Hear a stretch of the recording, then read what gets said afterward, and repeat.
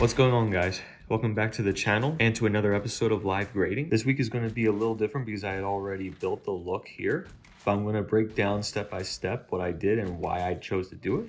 For this footage, I wanted to create a modern commercial look that actually incorporates some film texture and desaturation and deep color density. Before we get started, please subscribe to the channel. It'll help the channel grow. And let's begin. So the first thing I like to do when it comes to any of my color grades is I like to go into my IDT and ODT and set them up so I'm working in a DaVinci Wide Gamut color space. So when we go into my effects tab, the input color space and the input gamma is going to be red because this was shot on red. And for ODT, it's going to be the exact opposite.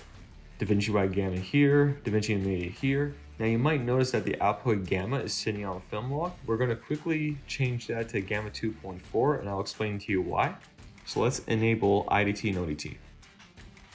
So before I switch it back to sitting on film log and apply the LUT, what I usually like to do is set my contrast and balance before I do that. So I'm going to go into my contrast here and enable it.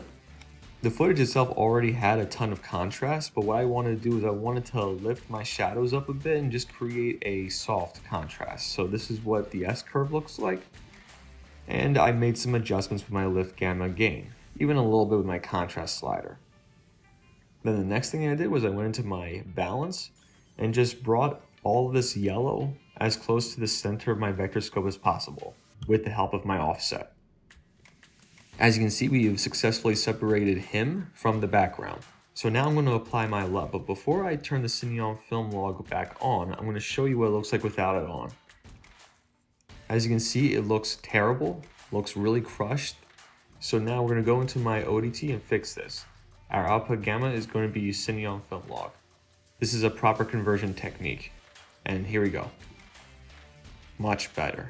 And now I'm going to go into my look the main thing I'm going to do with this is I'm going to incorporate a lot of cyan in the background and desaturate the image a bit. So this is what I got. What we got here is pretty good so far, but I'm not done yet. The next thing I'm going to do is going to apply the third-party plugin from mononodes.com, and I'm going to start shifting the hues a little bit there. I like that. It feels a lot more natural. So the but to really clarify that, I'm going to use another third-party plugin with DCTL and Mononode and see how yellow the skin is here. The mono balance, as you can see right here, has the skin sitting at yellow. And when it's sitting at yellow, that means the skin is natural. So let's disable this.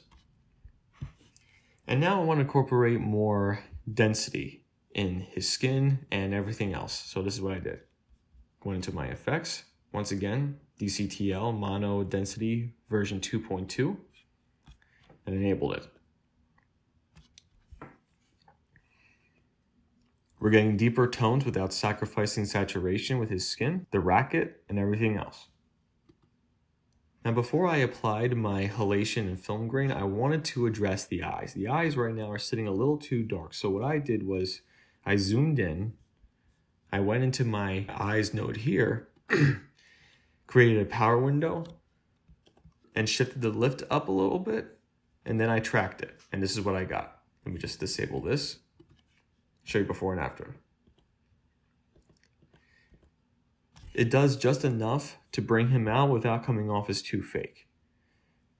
Now the next step I did was I noticed that there was a lot of noise right here. So I went into my noise reduction here in the beginning. These are my settings for it.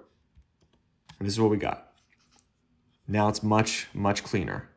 And now while I'm zoomed in, I might as well show you what I did with the halation. You can see it more in the racket here. And now let's apply the film grain. Now the reason why I put the film grain and halation towards the end of the node tree instead of the beginning like before is because I realized that anything after the film grain node would greatly affect the film grain itself. So before when I was putting the film grain in the beginning, everything past that, all of this here, was affecting it. And I didn't want that. I wanted this and the halation to be the last overlaying elements of my image and therefore creating an authentic film look. And in this case, it's also meant for a commercial. Let me know if that makes sense to all of you and feel free to use it in your color grades. So yeah, this is my breakdown of what I like to do when it comes to creating like an authentic commercial. That has a film texture to it. And I'll leave a link in the description for the Mononodes third-party plugin. And if you guys want to see more videos like this, please leave a like and subscribe. And I'll catch you in the next one. Peace.